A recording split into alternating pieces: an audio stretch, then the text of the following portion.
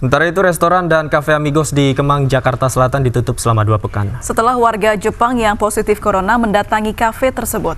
Sedangkan Gubernur DKI Jakarta, Anies Baswedan, menghentikan sementara seluruh izin keramaian di ibu kota karena khawatir akan penyebaran virus corona.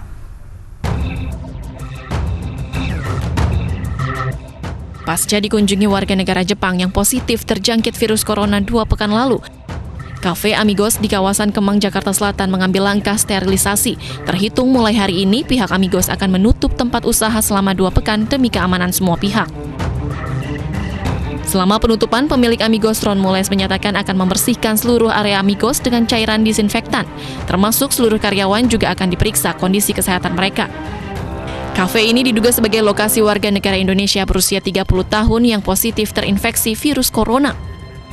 Nah, kita anggap bahwa amigos sama dengan orang yang kena virus. Kita anggap aja sudah kena virus. So untuk itu ya langsung uh, uh, kita apa namanya uh, kita menutup supaya di kayak di karantina ya kita jangan ada tamu di sini dan karyawan kita diperiksa semua. Sementara itu, Gubernur DKI Jakarta Anies Baswedan menghentikan sementara seluruh izin keramaian di ibu kota karena khawatir akan penyebaran virus corona kita menghimbau kepada masyarakat juga untuk satu jangan berpergian ke lokasi-lokasi yang sudah dinyatakan sebagai uh, tempat yang terjangkiti. Hindari tempat itu.